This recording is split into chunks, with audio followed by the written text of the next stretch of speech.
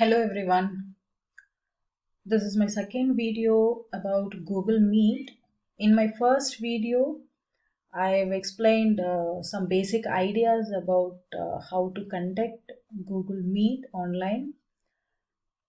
In this video, I'm just gonna show you how to maintain attendance during a Google Meet once you're a teacher and you're taking online class through google meet we are always aware of the students who have, who were attended the class. So for which what we have to do is let me just show you. I'll just open my google meet before uh, explaining how to take attendance. So here is my google meet page. All these i've already explained in my previous video I'll make the camera off and I'll join the meeting. I'm not going to invite anyone right now, so I'll just close it. So once if you click the people, can you see these two things, people and chat? Right now, I'm not having any access to maintain the attendance at my Google Meet page. So what can I do? For the attendance part. I'll explain you. All you need to do is just open one new window. You need not install any external application for this.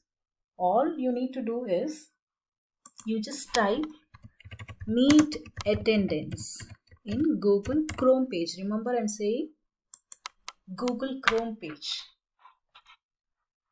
So meet attendance. Once I typed, I am just directed to meet attendance Google Chrome.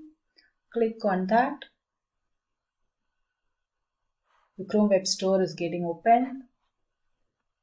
Yes. Can you see this is the icon of meet attendance? What you need to do is just add to Chrome. Just click on it and a dialog box opens.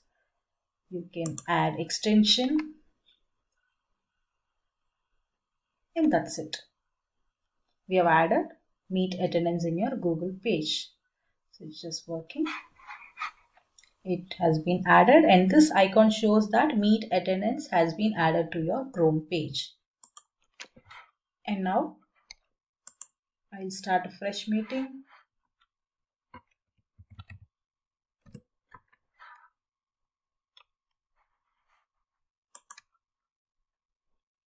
So after uh, getting extension of meet attendance, I'm starting a new meet. I'll join there. I don't want anyone right now to attend the meeting. So once you click on this people blog, you see it was initially just people in chat and now one more new icon is being added which was not in my earlier meeting. So this is my new meeting after I got extension from meet attendance. This was my earlier meet. So it was not here. Once I got the extension, the icon is now appearing on the screen, which means you have access to maintain the attendance. So what this will do is it just record who are all the participants into the meeting and uh, when they entered into the meeting. So it will just mark the timing of when they entered and it'll just display their names who were all attended the meeting.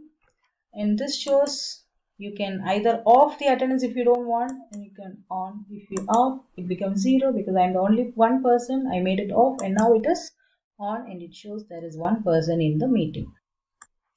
Once I click that a new window is opening with a spreadsheet and it shows it's working still. Yes. So there is a person in the meeting right now. So time is 13:13 that is 1:13 but I opened the meet at 1:3 so it shows my entering time.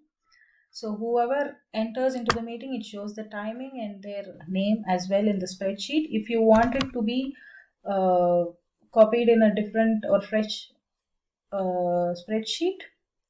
You can have it. And this was my last part that is i edited it 10 minutes before just for a trial just ignore it. So this is how it shows if you get extension from google meet attendance. And you can always have a follow-up on uh, students attendance.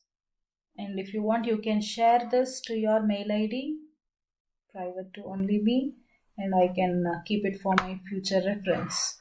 So this is what all I need to say about meet attendance. Hope this might help you. Thanks for watching. Thank you.